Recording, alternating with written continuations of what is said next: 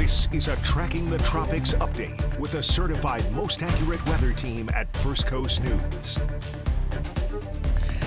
Well, let's take a look at the tropics. Of course, Tropical Storm Melissa is the big topic here on our Thursday morning. This is the 11 o'clock update from the National Hurricane Center. I'm meteorologist Robert Speta. And, you know, uh, these updates, we always try our best to not hype, not overemphasize things because when the real serious stuff comes, we want to make sure you're, you're taking it serious. Um, with this one, you know, it's serious, it, it, especially for Jamaica at this point. They're expecting a Cat 4 just off the southern coastline of Jamaica here, puts them in the right front quadrant, and it's moving slow. So a solid 24 to potentially 48 hours of consistent tropical storm strength winds, as well as heavy rainfall expected for that island. So let's break this down. Let's get the latest information on it. Right now, it's moving towards northwest at only two miles per hour. Uh, something to note, though, you know, we've been talking about this rapid intensification. and uh, yes, that's going to take place, but not yet. Uh, take a look at the winds right now 45 miles per hour. Yesterday, they were at 50. Uh, the pressure has actually rose a little bit. And the reason is if we pull back the picture, look at all these clouds kind of shearing off towards the north and east. You kind of see it right there. See all this? That is all due to a big dip in the jet stream kind of pulling along, and it's kind of skewing the northern portions of this away. With that said, after that moves away, this is going to continue to slowly work its way towards the west. And that's the reason why we have this slight churn towards the north, by the way, is because of that trough kind of pulling it along. But then it's going to escape that and slowly turns west. And you can see as it goes from a tropical storm all the way up to about Saturday here. And then it changes. The, the, the, the switch just flips right away as that trough exits and it moves into this area much more favorable for development and then it gets up to that cat 3 to cat 4 intensity. So expected to become a major hurricane significant flooding possible in jamaica and then it could be turning towards north over cuba. Those are some of the main headlines i want you to take away from this specific update on melissa. So yeah winds right now 45 miles per hour moving towards the north and west at only 2 miles per hour. Pressure is down to 1 1,003 uh, millibars. And we take a look, actually, the warnings out right now on this one. Um, tropical storm warnings in place, or excuse me, tropical storm. Um, excuse me, hurricane watches in place now for Haiti and a hurricane warning for Jamaica. I want to make sure I get that right because that's kind of important here. Trying to pull up any of our social media, see if I can take any of your questions if you are watching this on our live side of things, just to um, kind of get some feedback from you all as well. So, yeah, I see uh, no comments on there just yet, but if you do comment, I'll do my best to uh, reply to you here right away. All right, so let's take a look actually at um, the rainfall outlook here as we go ahead uh, through the next, well, 72 hours first. And this is just going to take us out to about Thursday, heading into Friday here, where we continue to see that heavy rainfall across parts of Haiti over towards eastern areas of uh, Jamaica. But this only goes out through Friday. And you already see there's spots that indicate upwards about a half a foot of rainfall out over the ocean, but you got to extrapolate this out. Now, I'm not going to put this any further out because I think the model is going to have a lot of eh, a lot of errors in it just based on the uncertainty of the forecast and how slow it's moving. But I do want to stress that I do anticipate upwards of a half a foot to a foot of total precipitation in parts of Jamaica here. And you can even see the timeline. Let's take a look through Friday, it just starts to approach with tropical storm strength winds in eastern Jamaica. Saturday, Sunday, Monday, it, it, it still is lingering over that island there. Um, and yeah, it, even still going to be looking at tropical storm strength winds parts of uh, Hispaniola, specifically Haiti. And then eventually it makes that turn towards the north over Cuba. And this is what our ensembles look like. Now, there is increasing confidence. I know last few days we've been saying there's a lot of low confidence in it. Um, it's still a little uncertain on the exact timing of that churn when this is going to get picked up by the next trough that's going to push on through. But there is confidence that it will kind of work its way towards the west and turn off towards the north and east, following behind the next trough. And actually, this particular model, you can kind of see that here. So as we go ahead through Friday, Saturday, and the Sunday, see the storm that's kind of in the north, that's top left of your screen. It's over Louisiana, Mississippi, Alabama. You got some rainfall kicking on in. Let's scroll this ahead a little bit more. That moves over the First Coast. In fact, on Monday for the Jacksonville area here at First Coast News, we have a weather impact alert in place because of those increasing showers on Monday, especially for the morning commute. Well, as that same system works its way towards the east, off of the east coast, this is what is going to be the catalyst for the turn towards north. So a lot of people have been asking, well, what's going to stop it from keep on going out towards the Gulf. And the, the, the, what's stopping it is that system, that weather system, and the high pressure ridge that's going to come in behind it. Basically, kind of like a fish hook, grab this and pull it off. And uh, these systems are not going to want to run towards high pressure. That's not how they work. They're like water flowing downhill. So if you got a high pressure ridge coming in behind this low by Monday and the Tuesday, that's going to basically stop it and cause it to cause to make that shift towards the north and east. So that's an important note. It's all about the timing of that weather system. It's going to impact the southeast Sunday and the Monday, and how that is going to hook this and turn it towards northeast for our friends across Cuba. There will be Americans involved, by the way, uh, with this storm system. If you are curious, um, I know a lot of you watching this are probably Americans, probably here from the first coast, uh, and it's not Puerto Rico by the way. Puerto Rico see some rain bands. It's Guantanamo Bay, actually, which is located in uh, southeastern areas of Cuba. You see that little inlet right there? See that? That um, that's that's known as um, prior Navy Gitmo Guantanamo Bay.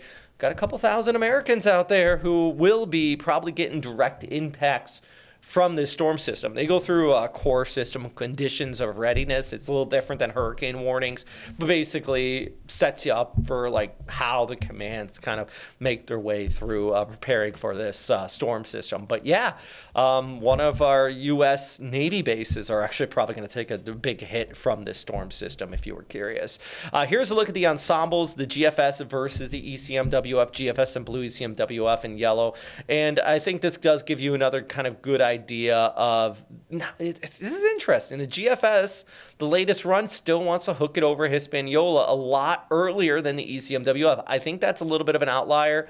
The Euro, that one in yellow, along with the Google AI model, a lot of our high resolution hurricane models kind of linger this closer to Jamaica before making that turn towards the uh, north. And I think that's why the NHC also continues to show that in the outlook. And I think the GFS is more or less kind of showing this trough right now, kind of pulling it off, which still possible, and that would be the best case scenario overall, but bad news for Hispaniola. So, yeah, by the way, this shear that we're seeing, if you are curious about shear, that's simply um, difference in wind direction with height. So if you get a little bit of uh, blowing on this in the upper levels, it causes it to lean and um, it's not good for tropical systems. It kind of disrupts the machine, if you will. And there's another look at the GFS. But for now, it does look like this storm system, the right front quadrant of it, is probably going to be closer to Jamaica. And you're curious about the right front quadrant, why we're talking about it being so bad. Um, I'll show you the uh, this little package here. This explains kind of the dirty side of a storm and why it's important to know – the impacts from it. So I'm going to give it over to our meteorologist, Lee Southwick, on that.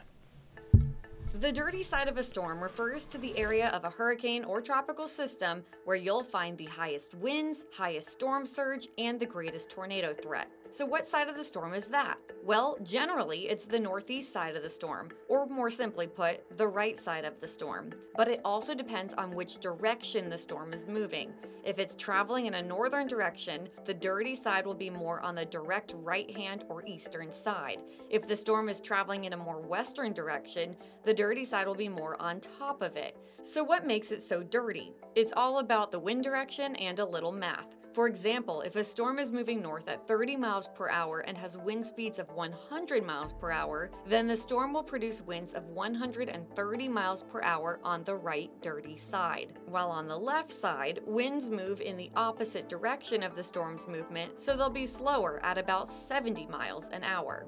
It's important to remember, though, as the storm grows stronger, every side becomes dangerous. Meteorologist Lee Southwick, First Coast News on your side. So yeah, that's a that's a good little kind of explainer on why it's important to know what the dirty side of a storm is, and the dirty side of this one is going to be that right front quadrant. It, uh, I'm telling you, if this gets up to Cat Four, Cat Five near Jamaica, it's going to have that classic buzzsaw shape. Anywhere near the core of the storm, of course, is going to be bad, but that right side, especially tornadoes and things like that, that could extend as far away as Haiti over towards uh, Cuba. But once again, I can't stress enough the slow movement of this is really going to be the catalyst for some devastating rainfall for specifically Jamaica if this forecast follows through. Um, and even if it drifts towards the north, it could be Haiti. It's still going to be slow moving at that point. But um, serious stuff here. Now, we got some people flying into these storms right now, by the way. Uh, hurricane hunters. They've been uh, doing some laps around it, giving you the lowest pressure readings. In fact, this is the latest pass. And you notice how they're actually flying kind of towards the west of the bulk of the um, convection. All the higher cloud tops here is another one. They're flying around. They found that lowest pressure right there, 1,002 millibars. Um, that's because this is displaced a little bit to the left. That's because this is having that shear act on it. And once this gets a little bit more organized and escapes that shear, you'll see the convection relocate a little bit closer to where the hurricane hunters are doing their laps there and trying to pinpoint the exact low level center pressure, which is all stuff that gets ingested into our weather models uh, to help make the uh, forecast that much more accurate. And um, yeah, so you know we're talking about the forecast here. I'm going to leave you with the track here one more time as this intensifies. This is for the 11 o'clock update. Don't have any questions here on our socials right now, so I'm not going to address any of those as of our live update here. But you can always reach out to me at a later time. I always try my best to respond to you. Uh, but you know, I was just talking about the hurricane hunters flying through there, and I actually got to talk to a colonel with the hurricane hunters, Colonel Rickart, um, recently about why they do what they do and what goes into flying into the heart of a hurricane. So I'm going to leave you with this my conversation with Colonel Rickart on the hurricane hunters. The hurricane hunters are a vital tool when it comes to tropical weather forecasting. They fly into the heart of hurricanes so we can get that initialization data to ingest into the weather models and help make that forecast that much more accurate. But who is flying these planes into the middle of the hurricanes? Well, I had the opportunity to talk to one of the hurricane hunters, that is Colonel Ryan Rickart, about why they do what they do. So, I mean, we all we all know that it started very very early in the middle of World War II. Um, there's no there's no replacement for it really. There's there's nothing that can provide the data that the aircraft can provide. There's there's no observations over the ocean that, you know, with aircraft flying through it, the, the aircraft is equipped with weather information and you know sensors that is collecting that and then we're disseminating it. So it's it's truly vital for the Hurricane Center and uh, for the meteorologists and the forecasters in the West Coast as we've expanded our winter season mission too, where we're collecting atmospheric data over data sparse areas. All right, so let's say you're going to go fly into a hurricane. Could you take me through a day in the life of a of a Air Force hurricane hunter that is going to be going out and going into a storm? So really, it starts the day prior. The day prior, the Hurricane Center asks um, the aircraft units what if they can support whatever they're asking requirements for flights for whatever storms are out there that we can reach um, from whatever base we're at and then that basically starts this sets the stage for the crews getting built, people volunteering for set a flight at whatever time, and then they go into a crew rest. They have to have a 12-hour period prior to their flight that where they're resting and being ready and basically um, getting the sleep that they need in order to conduct that mission the next day. And then um, basically, roughly three hours prior, you'll get alerted to come in to the unit and go prepare and go out on that flight. And about two hours, everyone arrives, two hours prior to the flight. And then you start collecting the information. You start providing the crew what we're going to do, where we're going, etc. And then about that takeoff time, that's when everybody's on the aircraft. You're taking off and you're heading towards the, the location where you're going to hunt that storm, or, or uh, basically collect all the data for that storm Um, and the missions can run anywhere from you know six to 12 hours. It just depends on how far it is to get to that, and then uh, basically what the Hurricane Center has asked us to do. You know, if there's certain different things, ob- objectives they have us uh, basically finding out. The planes that the Hurricane Hunters use are unique.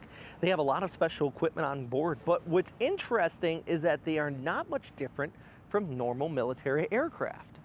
Yeah, so the the misconception is is that that C-130 that the C-130s that we have, we have 10 of them, are built differently and like reinforced or you know armored or do whatever. That they're not. They're actually not.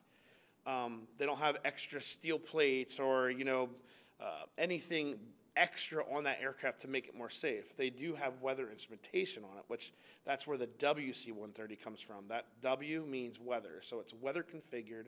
We have instrumentation. We have the crew on there on board to collect that information and and uh, provide it to our customers.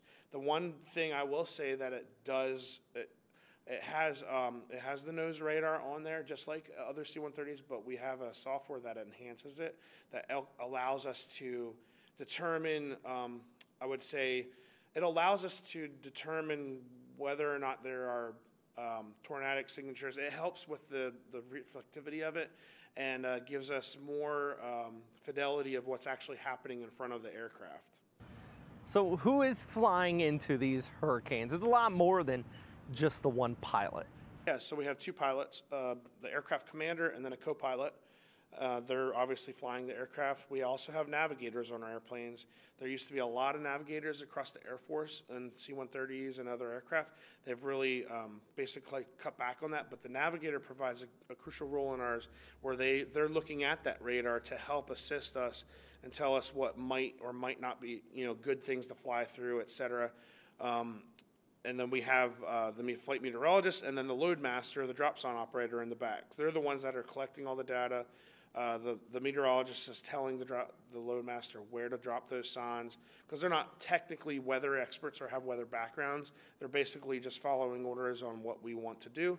And then we are basically, the meteorologists are conducting the entire mission and what, you know, meeting the objectives of the customers, telling them where we need to go next or what we need to do next, and then we're ensuring that that weather information that's getting soft, off the airplane, sent off the airplane, is, you know, as accurate as it possibly can be. Now, I guess my next question is about in flight. So, how many, if you know this number offhand, I bet you do, how many storms have you penetrated? And what is the one that you were like, oh, okay, all right, hold on, and maybe maybe like you lost a little like um, kind of color in your in your face or anything like that. I actually do not know the exact Oh, okay. number, but I know relatively. I've I've been through hurricanes roughly 150 to 2 175 times, somewhere in that range. Uh, last year, I went through I think 31 times uh, a hurricane penetration. So I'm getting up there. I've been there for 10 years, so been able to. I have quite a, a decent amount of experience in doing it. Um, and then I would say the the one there's been a handful of wow or oh my you know moments, but the one that I just I've been kind of harping on while I've been here is the Hurricane Irma experience. Kind of flew it three or four times in its beginning stages, all the way up to Cat Five. And uh, the one of the at, when it deepened and it hit its peak intensity, that was one of the ones that I was just like, oh my gosh, um, it was really rough and it was near land, so we we got rocked pretty good. So, what advice from a hurricane hunter would you have for the general public? a lot of the times the general public doesn't really understand you know what impacts they're they're going to experience at their house or in their area that they live so i mean the best way to understand that is to listen to their local emergency managers and their the communicators and the leaders of their community to tell them hey if they're telling you to leave you, you really need to leave. It doesn't it's it's a freebie. Leave. Why would you stay? You know what i mean? Like it just it doesn't make sense to me that to ride a storm out when you really don't know what's going to happen so. So, I want to say a big thank you to Colonel Rickart for talking with me about how the hurricane hunters operate. If you want more information, be sure to stop by firstcoastnews.com slash hurricane central. I'm meteorologist Robert Speta.